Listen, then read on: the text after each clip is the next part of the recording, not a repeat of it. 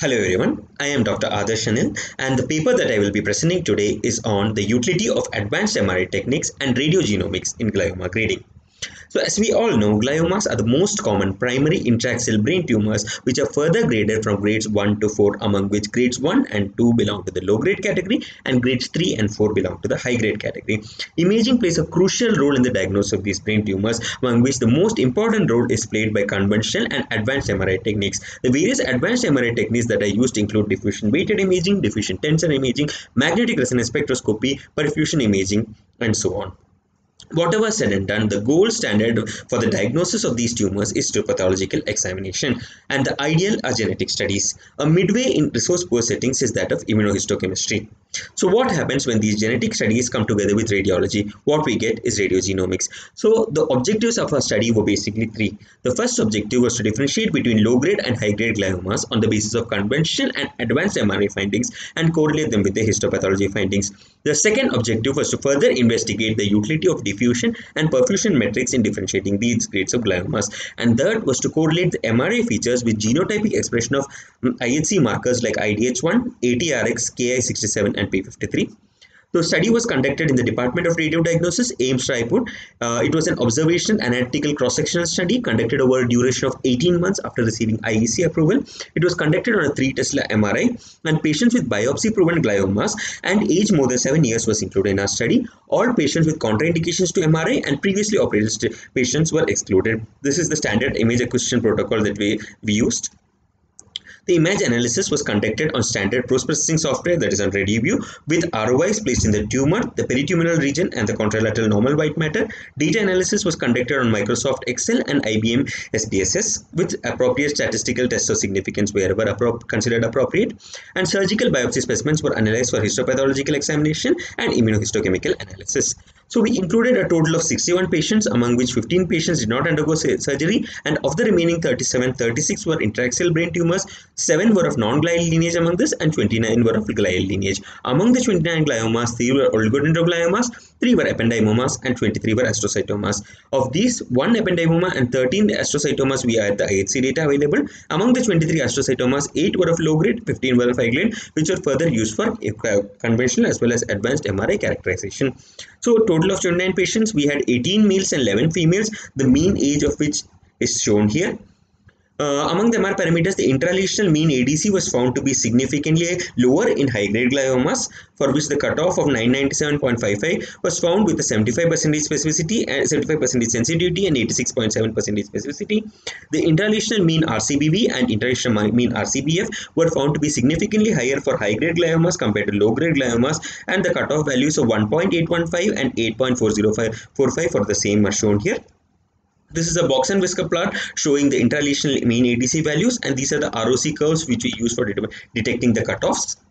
Among the DTI metrics, one parameter we found especially useful was the P by N FA ratio, which is the FA value of the perilesional region divided by the FA value of the contralateral normal white matter, which we found to be significantly lower in high-grade gliomas at a P value of 0.037 and a cutoff of 0.415 could differentiate between the two grades at 75% sensitivity and 86.5% specificity.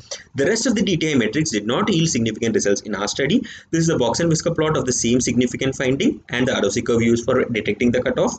So among the various IHC markers, we used ATRX, IDH1, P53 and Ki67 and, in, uh, and this is the take home message from this slide is that in all grade 4 gliomas, we found the Ki67 immunoreactivity more than 10% and in grade 2 gliomas in all it was less than 10%. So among the imaging features, we found that multilobar involvement was found in all cases of IDH wild type, which virus it was found only in 88.8% of IDH mutated cases. Heterogeneous enhancement with large non-enhancing areas and marked perilesional edema were found only in IDH mutated cases. And the minimum ADC value and the was lower in IDH wild type cases and the maximum RCB value was higher in IDH mutated cases.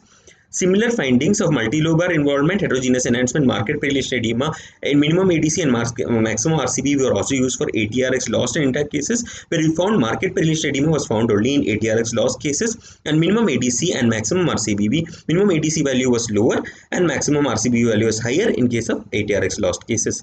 So coming to the discussion, the intralesional mean ADC, as, we, as I already told, it was lower for high-grade gliomas, which was in concordance with previous studies, which can be explained on the basis of cellularity. As the increasing cellularity it causes increased restriction of water molecules.